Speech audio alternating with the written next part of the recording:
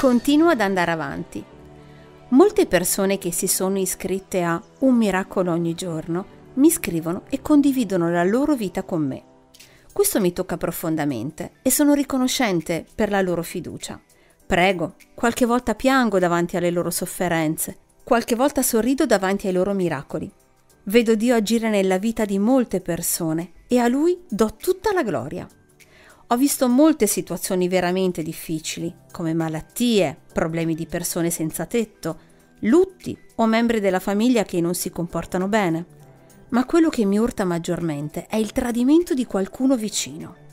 Un bambino molestato sessualmente da un adulto, spesso in famiglia, una donna tradita dal marito, un credente che si sente emarginato dalla sua chiesa.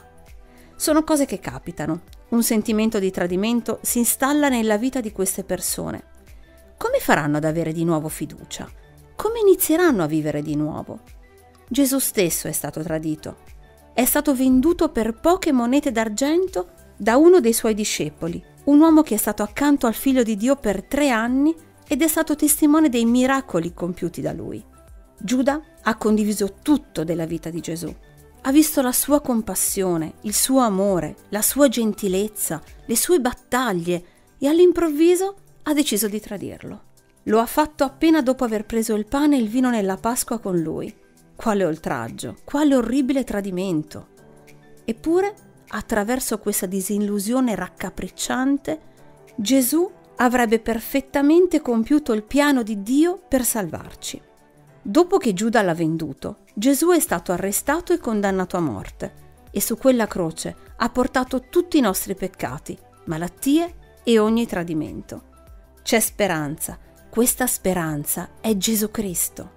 Il tradimento del suo amico gli ha spezzato il cuore.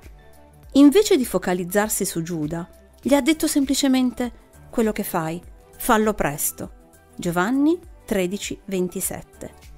Poi è andato avanti, avanti verso la sua missione. È a questo che egli chiama anche te, amico mio. Continua ad andare avanti. Per la grazia di Dio, vai avanti, perdona, dimentica i torti subiti, vivi in novità di vita non meditare più sul passato, non rivolgere più la tua attenzione lì. Sì, le persone ti hanno deluso, tradito, abusato, rigettato, maltrattato. Ma Cristo non ti deluderà, non ti tradirà, non ti rifiuterà, ti tratterà sempre con amore. Vai avanti, amico mio.